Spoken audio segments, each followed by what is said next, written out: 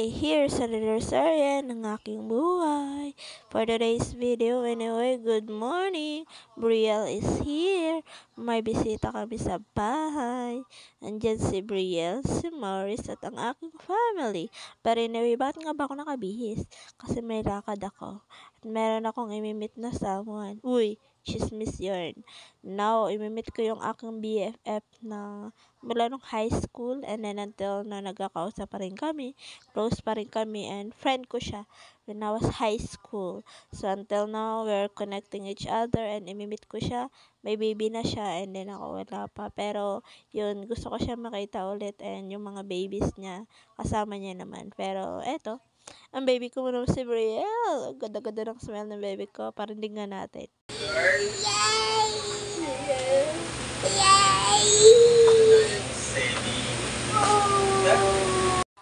lang, kasi ang ingay ng background, sakat sa tayo nga. Oops, anyway, I'm here and via Vista Mall, Daang Hari, extension of the Kabiri, basta yun na yun.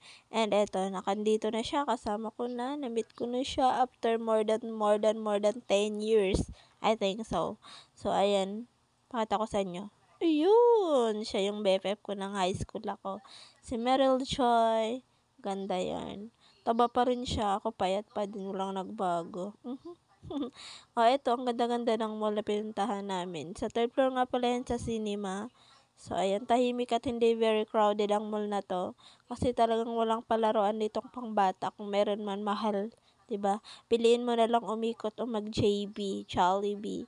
Oh, anyway, sinama ko sa dito sa yung favorite spot ko na parang kapag pumasok ka rito ay parang papunta ka na ng langit, char.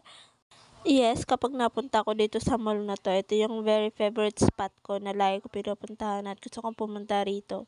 Natutuwa ako sa langit tsaka parang nasa ibang bansa ako. Sa ganda ng design, yan, iba-iba yung design 'pag nadalaw ako diyan or nakakapagpasyal. Yan, 'di ba? What's that kind of feeling? Sana ma-feel niyo yung nakikita ko. Hindi naman bago sa mga taong nanonood sa akin at malapit at alam naman nila yung mall na 'to at saan 'to. Pero ang ganda. I swear. Talagang nag-enjoy ako dyan. Ayan, talagang inikot-ikot ko yung mata ko para makita ang lahat sa paligid. But anyway, here, hapon na and pababa ng araw, uwi ng person.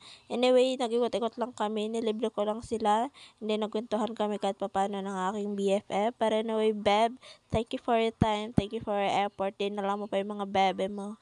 So sa mga nakakita ng mga nasa background, kilala yan. At yan madalas yung mga artista na mga events nila B. Diyan nag-gender reveal si Kong TV. Char.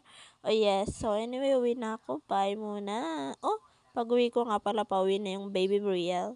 Pauwi na siya sa bahay nila. So, bye-bye muna. Thanks for watching. Pahinga na ako. Andito na ako sa bahay. I'm safe. Okay? So, bye. Thank you for watching. I love you guys. Be kind. Mwah. Mm, cute ng baby ko. Pag-cute naman yan, uy. oh, smile!